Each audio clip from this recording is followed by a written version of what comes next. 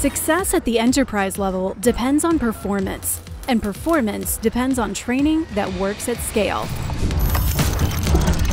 Mass Virtual redefined training with Virtual Hangar, the first immersive training platform deployed globally across the U.S. government, built for the masses, not for the few.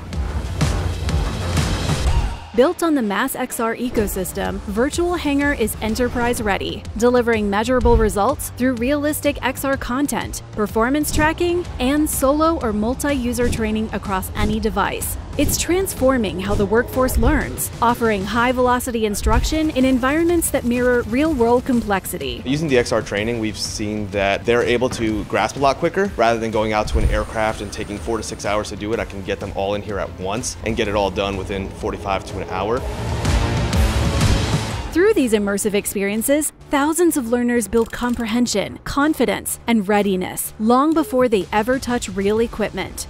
The results speak for themselves. 45% faster course completion, 72% reduction in retraining, $30 million saved in fuel in 2024 alone. This is an incremental improvement. It's a reinvention of how large organizations train, learn, and perform.